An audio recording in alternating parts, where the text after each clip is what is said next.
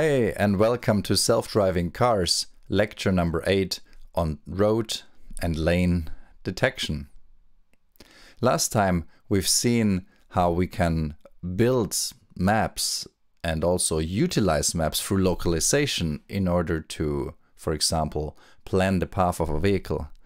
But of course, there's a lot of information available locally that can be sensed through the sensors of the vehicle. And that's what we are going to talk about today, also with the goal of planning a local path. This lecture is subdivided into five units. First, we're going to introduce and motivate um, the problem of road and lane detection. Then in the second unit, we're going to be talking about road segmentation, semantic segmentation. In the third unit, we will talk about lane marking detection and then about lane detection, which is summarizing the lane markings into a coherent lane estimate that we can use for controlling the vehicle. And then finally, we're gonna see a simple algorithm in a simple setting for the lane tracking problem, how we can integrate the lane detection estimates over time. So let's get started.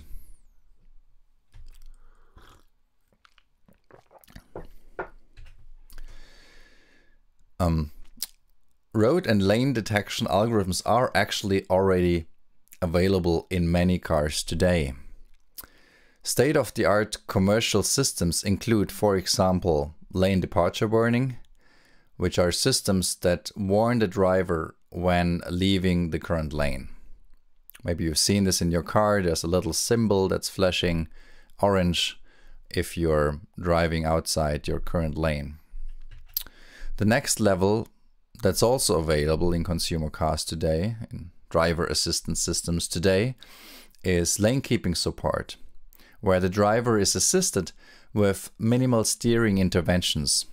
So when you leave your lane, then the car gently nudges you back, but it's very easy to override the steering command from the car. Just a little assist that's given to you. And then finally, there's lane keeping and lane departure protection, which are systems that keep the car in the current lane autonomously. So these are systems that, for example, when you're riding in a, in a traffic jam, they can automatically steer the vehicle for you. Um, so here's a little video that demonstrates this in the case of um, the example of a Mercedes-Benz. The active lane keeping assist prevents the driver from leaving the lane unintentionally in a range of situations, even in slight bends. Targeted intervention via ESP brakes the opposite wheels to ensure that the vehicle does not drive over solid lines. At the same time, a warning is displayed on the instrument cluster. If open lane markings are crossed, the steering wheel vibrates as a cue to steer in the opposite direction. This haptic warning is also provided before the braking intervention. In a new development, the system can also react if adjacent lanes marked with open lines are occupied and there is a risk of collision if the vehicle changes lanes. The system is active from a speed of 60 kilometers per hour. The camera identifies the road markings, while radar sensors monitor the traffic around the car. Traffic behind the vehicle is monitored by a radar sensor in order to warn of overtaking traffic. The long-range radar is directed at oncoming traffic. The short-range radar keeps a lookout when the vehicle changes lanes. If the radar system reports that the adjacent lane is occupied, ESP initiates a one-sided braking intervention that can move the vehicle out of the danger zone. At speeds above 30 kilometers per hour, the active blind spot assist offers additional protection.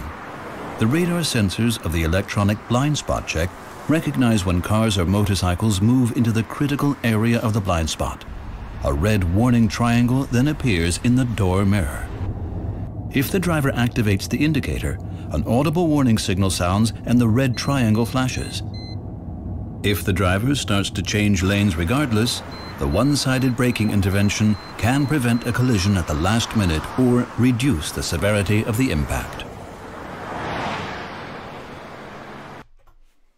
So these are some examples of the systems that we have already in many of the cars today. Now, let's look a bit more closely into the topic of road and lane detection. And let's first consider the different representations um, that are out there. I tried to categorize them.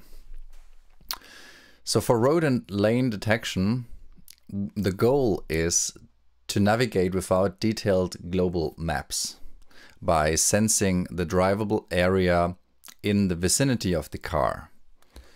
And there's multiple cues available for this. There's geometric cues, for example, this area here is elevated compared to the road. There's semantic information. For example, the road is typically sort of a grayish color and with a certain texture. And there's man-made cues like the lane markings that are um, made in order to support the driver. And so they can also support the driver assisting system as well as the self-driving car, of course. Now the input that we have available to our disposition is clear. We have the images.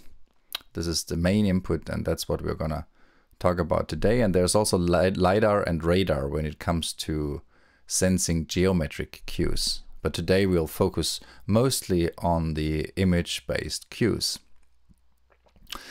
Now there's multiple possible output representations and I tried to cluster them a little bit. So the first one we'll call road segmentation.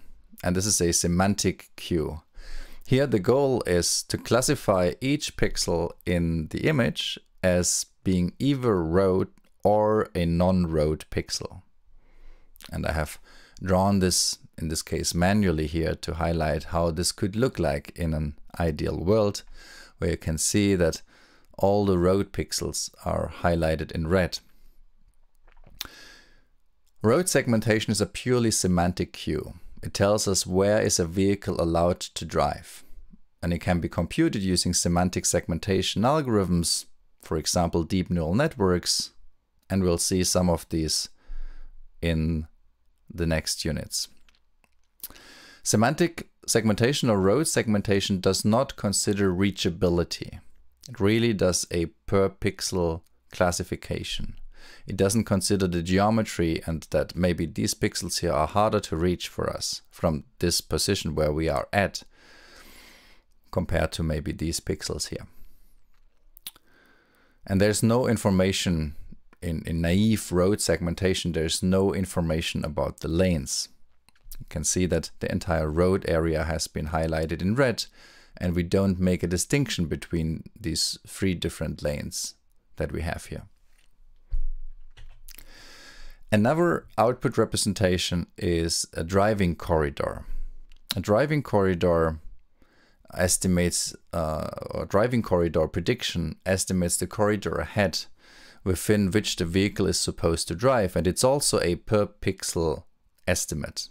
We have a basically a pixel mask here that we estimate.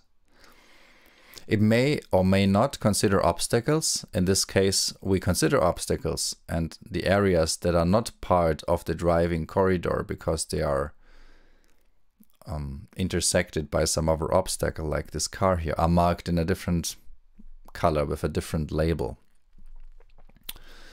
And there are multiple possible driving corridors and the relevant one depends on the high level plan. So for example, in this case, there is this driving corridor that takes us to the opposite side of the intersection.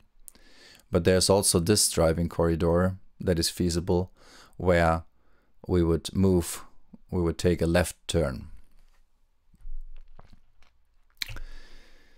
Another output representation is lane markings. Lane markings are used in order to help the driver and so they also can be used by the driver assistance system or the self-driving car. Roads are often subdivided into lanes through these lane markings and they are often wide. And uh, here you can see a possible example for such an output where all of the lane markings have been represented by some parametric curves like splines. Now the goal for lane marking detection then is of course to detect the lane markings first of all. And sometimes also the road curbs are included in this process. So you can see that here there is no lane marking, but there's a curb. So we want to detect the curb as well. And once these pixels have been detected, we want to fit a parametric model like a spline to these pixels that have been detected as belonging to the curb or the lane marking. Now this works well for highways, but it doesn't work so well in cities as lane markings are often not visible or reliable. You can see this here. They are interrupted. Um, sometimes they are entirely missing or they are occluded. And so it's hard to do lane marking detection inner city. And that's also the reason why often these driver assistance systems that do lane departure warning or lane departure support, they um, get switched off in such inner city situations. Another representation is the lane itself. And the goal of lane detection is to recognize the lane. The lane detection algorithms group two lane markings. So we can see the left lane marking of our ego lane here and the right lane marking into a single lane. So we're grouping them together. Now we have the knowledge that these two lane markings, these two parametric curves, they are belonging together to form a single lane. And through this, we of course also have information about the width of the lane. For example, if the, our vehicle can actually pass. And the center line um, that's in the middle of these two, which we might want to use for navigation. And also here, the navigation relevant lane depends on the high level plan. So we would also have two lanes in this case or maybe even three, right? So there could be one that's going straight, one that's going left, and one that's going right. And then finally, we have also free space estimation. In free space estimation, we want to estimate locations in the image that can be reached without collision. It's a purely geometric cue. We ask which places can be directly reached and it's computed using some geometric information that can come from laser measurements from the LiDAR, or it can come from stereo information, where we have, for example, here detected that this part here is elevated compared to the road level. And so we are, we are stopping our uh, prediction here. So you, you can, like this is just one way of doing it, but you can imagine that there's this you know, center point here and we are traversing this um, image in a star shape. So we're traversing it in, in many lines. A few of them have been drawn here in black. And we're traversing only as long as we see free space. And then if there is some geometry that's um, in our way, if we have this elevated area here, then we stop. But of course, we need to know the geometry very well in order to do so. And we're going to see an algorithm like this in the next lecture.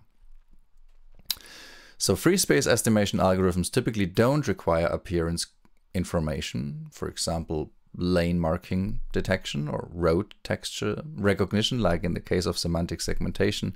But of course, they could benefit from this. They could be combined. But the most basic form of free space estimation is typically based on some very simple depth map input that can come from LiDAR or from stereo, and then an algorithm that follows lines and detects the first point where the geometry doesn't fit the road geometry model that we have estimated. Now, all of these representations that I've shown are in the 2D image domain. But as we've seen, and as is clear, of course, the vehicle is not driving in the image domain, it's driving in the 3D physical world.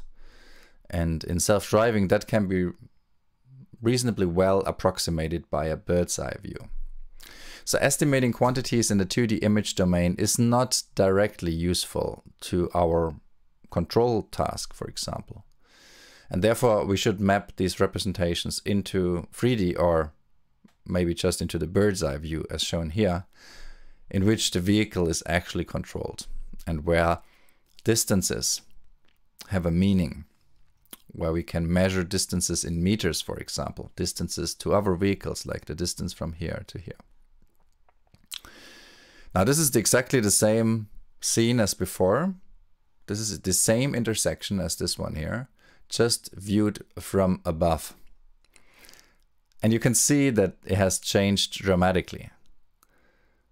It's um, if I wouldn't tell you that this is the same intersection, you would probably not know that it's the same intersection. So it looks dramatically different, and that already reveals a little bit that performing this mapping um, is not trivial or is leading to some uncertainty.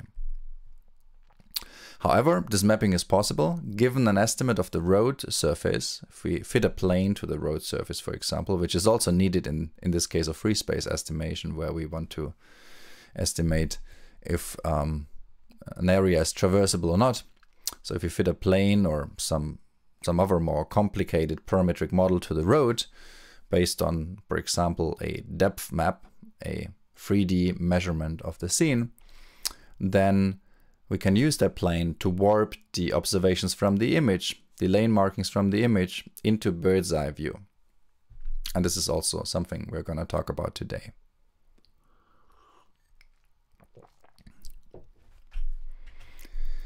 Now, before we start with the first um, unit, I want to give you a little bit on intuition of how hard that problem can be as a human driver, it doesn't seem extremely hard because we're solving this problem every day, but it can be quite hard. And to give you a little bit of an understanding where this comes from, I've collected a few images while driving around with, this was still during my PhD time, where we were driving with uh, the experimental vehicle, which was called AnnieWAY, in Karlsruhe and collecting data um, this is data from the KITTI dataset. and I've just picked a few images that demonstrate how challenging it can be.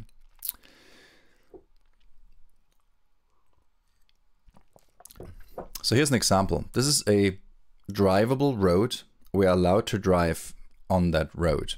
And you can see in this example that, for example, when we consider road segmentation, even the ground truth annotations are not fully unambiguous. For example, it's not clear if this is part of the road or if this is part of the road or if this should be a sidewalk or not.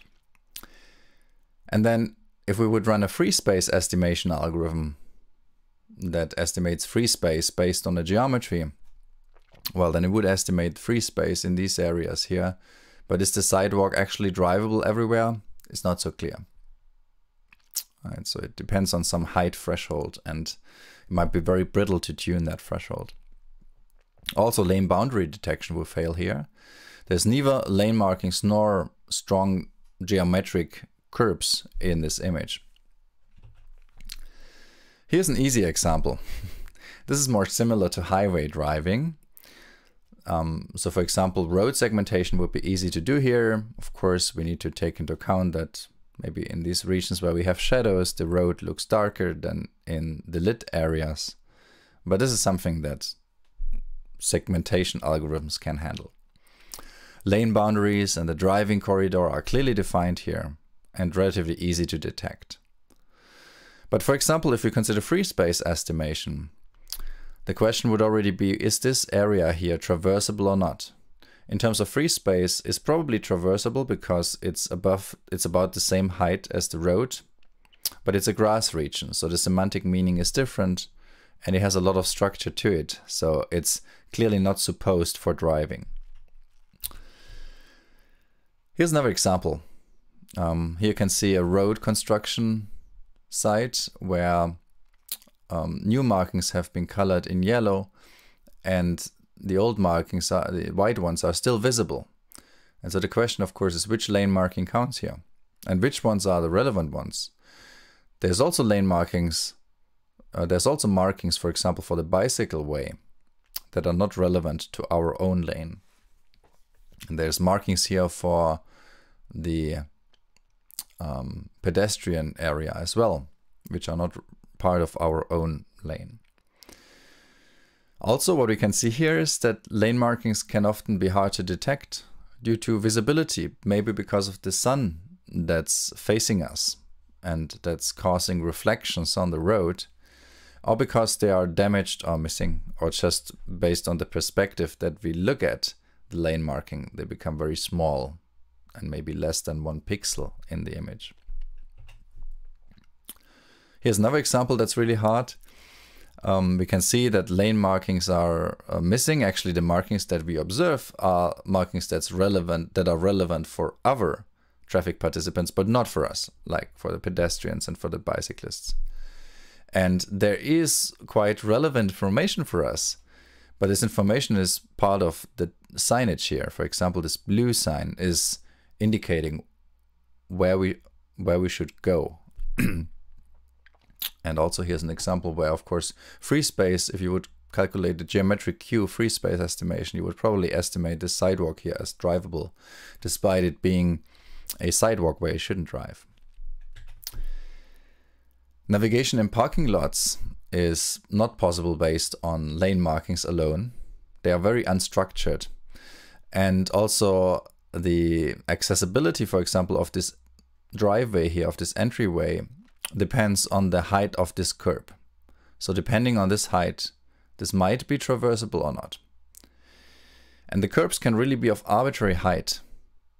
If the curbs are low, it's often harder to detect them robustly. So how can we robustly detect the curbs? Then here's an example where there's no lane markings at all. Rural streets, often unmarked, lane detection is very difficult. Um, and also in this case, you can see that detection of road signs is highly relevant despite the signs might be small, here, for example, we can see that this is a street where we are not supposed to drive into. So we have to make a turn. And sometimes it's also difficult to detect if a car is parked or not. This car here, is it parked? Is it not parked? This of course affects the driving corridor that we would calculate because if we are dealing with a parked car, we have to swerve around that parked car. We can't wait until it's going away. Here's another example. This is from the KIT campus. And we can see that often uh, we are dealing with very unstructured environments, which are really hard to capture parametrically. And there's some scene elements like these white blocks here that resemble lane markings, but are actually not lane markings. And there are some areas, like this one here, that are not designated for driving, yet they are not clearly marked. In this case, there's only these poles that separate this non-drivable area from the drivable area. Here's another example where we have an intersection and the lane markings are missing and there's railroad tracks that can be very easily confused with lane markings depending on how the sun is shining on them and how they reflect. So we have a very structured scene on one hand, but at the same time it's very unstructured and we need really holistic reasoning or prior information from a map in order to disambiguate the situation. This is another example of a construction area. Often navigation based solely on lane markings is not a good idea as we can see here. So we need to take into account also all the elements all the markings provided by the construction site. And they are often badly marked and the elements that are used are very different. So here we have the construction signage here that changes the street layout and the lanes that we want to drive on are partially obstructed so we have to deal with occlusion as well. Another example where we have no lane markings, but there's implicitly two lanes. We can actually pass this other vehicle. But then, at this point here, both lanes, these two lanes, narrow down into one lane based on very subtle cues.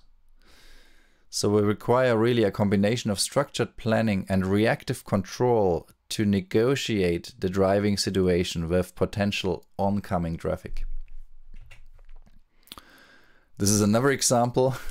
There's many examples I could show you. I will stop in a second, but this is another example where um, lane markings can have very different semantics. Here they are used to indicate areas, the markings are used to indicate areas where we shouldn't park. And also the allowed driving directions here are not always easy to infer. And there might be heavy occlusions caused by other tr traffic participants or parked vehicles or buildings. So just to illustrate you, I've shown you here some, some of the hard cases to give you an idea of why this algorithms that we're going to talk about today will not work everywhere and why in practice we need multiple algorithms for different situations. So this is an overview of these five different categories I've sketched with their advantages and disadvantages all in one slide. And of course it's incomplete, but I hope this gives you a little bit of picture.